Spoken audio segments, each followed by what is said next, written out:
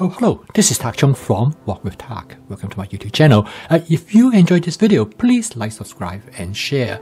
Uh, please feel free to write to me at wokwithtak at gmail.com uh, if you have any question regarding to this video or any videos that I have posted in the past. If you have any videos that you would like me to make, uh, please let me know. I'm looking forward to hearing from you. Well, spring is here. Uh, next to our, our house, we have a lot of bluebells, and here they are. A salmon is uh, one of my wife's favorite food, uh, if not the most favorite. Now, every time when I post a salmon dish, my wife always asks me, Did you get a lot of views? And my answer is no. And she said, Why? Why people don't like salmon? Well, I think I kind of understand that because I used to have a friend and uh, she loves salmon. And she always complained about the salmon that she eat out in a restaurant. And she always ordered the same thing. Sometimes it turned out good, sometimes it turned out poorly. And she asked me, what is the best way to cook salmon consistently? So I show her this method. But more importantly, in addition to able to cook salmon consistently, is that you can vary how you cook the salmon to give you many different variations. Now, if you never had really cooked salmon before, I think this is a template that you should learn. Now, salmon, without any question, from nutritional standpoint, is a nutritional powerhouse. It is rich in omega-3 fatty acid. But more importantly is that a salmon go very well with almost any type of food ingredients, with vegetables, with other type of meat, such as with shrimp, even with chicken. So you don't have to cook salmon all by itself. Now, most of the time when you go out to eat salmon, uh, you just get a piece of salmon, sometimes with a little bit of vegetable on the side, and that is actually uh, you are shortchanging yourself, not actually fulfill the potential of what the salmon can provide to you. So in this video, I would like to show you basically is a salmon template. But this salmon template uh, can be modified uh, to include almost any type of other food ingredients that you want. But in this particular case, I cooked the salmon with pineapple. Now, you probably never had pineapple salmon before, but why not? So, if you learn this basic template, I can guarantee you that you will find salmon in a very, very different perspective. I think you will enjoy salmon in such a way that you might never have done in the past.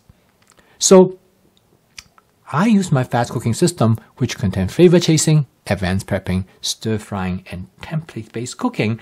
And this video, in many ways, uh, provide a, a conceptual a summary of all these four individual ingredient components of the fast cooking system. Now, the basic aspect of this cooking system is template-based cooking. The whole idea of template-based cooking is that uh, you can use a basic set of procedure and to create variations of this basic template. Now, in this case, this basic template is how to cook salmon. The important thing about cooked salmon is that you want to fry the salmon before you stir fry it because this will allow you to uh, seal in the flavor of the salmon. And more importantly is that it creates a firmer texture for the flesh. So when you stir fry it, the salmon will not fall apart. But the other part of this basic template is that it makes the salmon taste better. And that's the flavor chasing part of this template.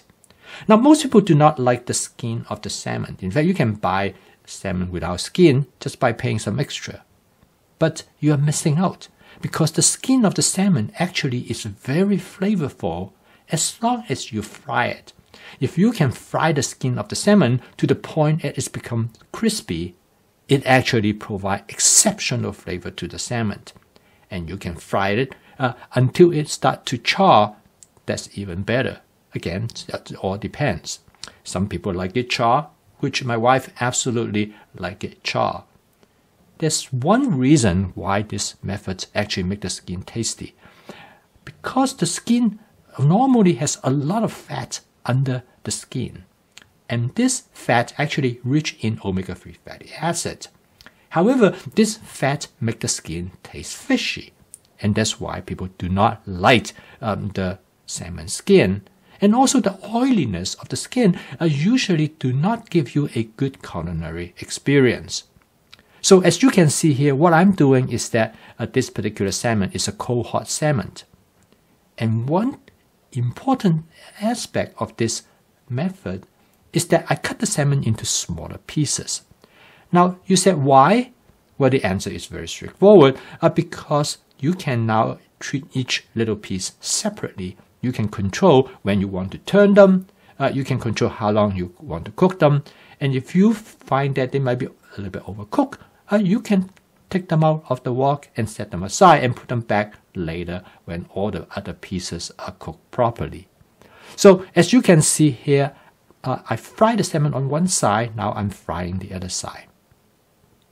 Now, one of the advantage of this template is that now you can incorporate vegetables and cook them all together.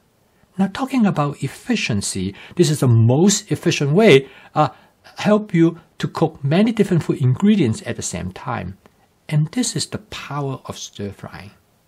After I add the green bean, uh, I then add some the portobello mushroom. Now the portobello mushroom turned out to be really important in cooking of this template because the portobello mushroom uh, has the capacity to absorb the oil that are released by the salmon. And th this actually make the mushroom taste better, but also retain the nutritional quality of the dish. So you are not wasting anything from all the food ingredients and the oil generated by the salmon. Now you're able to recapture the omega-3 fatty acid that are released by the salmon. As you notice that what I'm doing is that I move the vegetable over the salmon because I'm still cooking the salmon on the other side. Now this method is known as sequential stir frying, allowed you to cook each of the ingredients to its desired texture by adding individual ingredients to the wok in separate timing. And the result is that it will give you much better control of the doneness of the ingredients. Now I add some uh, minced garlic. Now again, all of these are done with a specific purpose. I add in the garlic later because my wife loves a strong garlic flavor.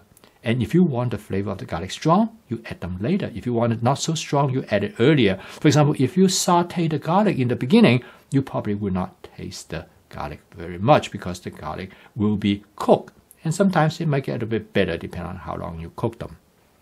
Okay, now I start to use the wok spatula and to stir fry everything together. A couple of things I want you to notice that. Notice that there are no oil left at the bottom of the wok because it has been all absorbed by the mushroom as well as the green bean.